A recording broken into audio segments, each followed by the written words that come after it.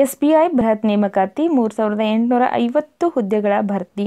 ಸ್ನೇಹಿತರೆ S B I ಬ್ಯಾಂಕ್ನಲ್ಲಿ ಬೃಹತ್ ಉದ್ಯೋಗಾವಕಾಶಗಳಿಗೆ ಒಂದು, ಉದ್ಯೋಗಾಕಾಂಕ್ಷಿಗಳಿಗೆ ಒಂದು ಅವಕಾಶ ಒದಗಿ ಬಂದಿದ್ದು, ಒಟ್ಟು ಮೂರು ಸಾವಿರದ ಎಂಟುನೂರ ಐವತ್ತು ಹುದ್ದೆಗಳನ್ನು ಭರ್ತಿ ಮಾಡಿಕೊಳ್ಳಿಕ್ಕೆ ಎಸ್ ಬಿ ಐ ಬ್ಯಾಂಕ್ ಇದ್ದದ್ದು ರೆಡಿ ಆಗಿದೆ. ಸ್ನೇಹಿತರೆ, ಈ ಒಂದು ಹುದ್ದೆಗಳ ಡೀಟೇಲ್ಸನ್ನು ಈ ಒಂದು ವಿಡಿಯೋದ ಮೂಲಕ ತಿಳಿದುಕೊಳ್ಳೋಣ.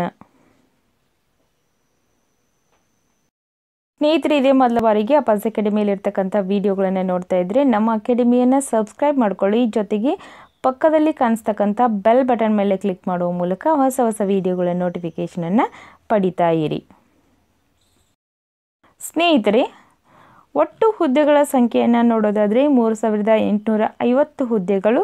ಸ್ನೇಹಿತರೆ, ಇಲ್ಲಿ ಕೇವಲ ಯಾವುದೇ ರೀತಿಯಾದಂತಹ ಡಿಗ್ರಿಯನ್ನು ಹೊಂದಿರತಕ್ಕಂತಹ ಎಲ್ಲ ಅಭ್ಯರ್ಥಿಗಳು ಕೂಡ ಈ ಹುದ್ದೆಗಳಿಗೆ ಅರ್ಜಿಯನ್ನು ಸಲ್ಲಿಸಬಹುದಾಗಿದೆ. ಕೇವಲ ಒಂದು ಡಿಗ್ರಿ ಮಾತ್ರ. ಯಾವುದೇ ಡಿಗ್ರಿಯನ್ನು ನೀವು ಪರ್ಶ್ಯೂ ಮಾಡಿದ್ರೂ ಕೂಡ ಈ ಹುದ್ದೆಗಳಿಗೆ ಅರ್ಜಿಯನ್ನು ಸಲ್ಲಿಸಲಿಕ್ಕೆ ಅರ್ಹರಾಗಿರ್ತೀರ.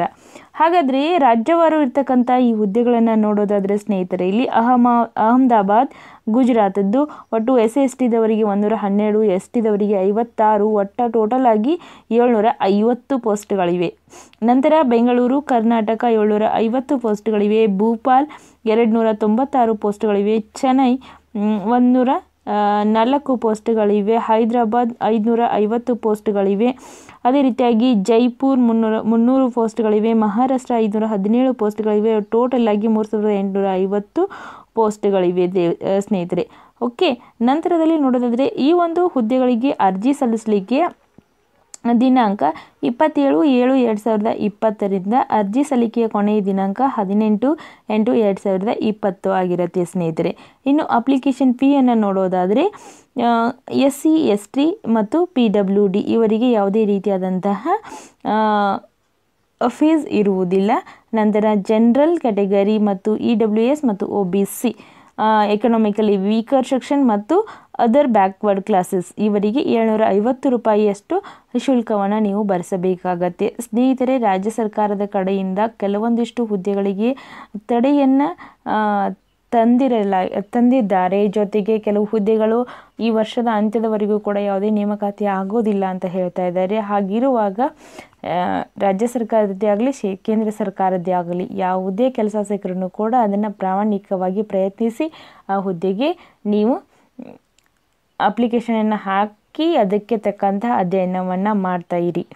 ನಂತರ ಇಲ್ಲಿ ಬೇಕಾಗುವಂತಹ ದಾಖಲೆಗಳನ್ನು ನೋಡಿ, ಯಾವ್ಯಾವ ದಾಖಲೆಗಳನ್ನು ನೀವು ಅಪ್ಲೋಡ್ ಮಾಡಬೇಕಾಗಿರುತ್ತೆ ಅನ್ನೋದರ ಕೂಡ ಇಲ್ಲಿ ಒಂದು ಲೀಸ್ಟನ್ನು ಕೊಟ್ಟಿದ್ದೀನಿ. ಇದನ್ನು ನೀವು ಸ್ಕ್ರೀನ್ಶಾಟ್ ತೆಗೆದುಕೊಂಡು ಈ ಒಂದು ದಾಖಲೆಗಳನ್ನು ತೆಗೆದುಕೊಂಡು ಹೋಗಿ ಅಪ್ಲಿಕೇಶನನ್ನು ಹಾಕಬಹುದಾಗಿದೆ ರೈಟ್ ಅಥವಾ ಮ್ಯೂಟ್ ಮಾಡಿ ಕೂಡ ನೀವು ಈ ದಾಖಲೆಗಳನ್ನು ಓದ್ಕೊಳ್ಳಿ ಸ್ನೇಹಿತರೆ.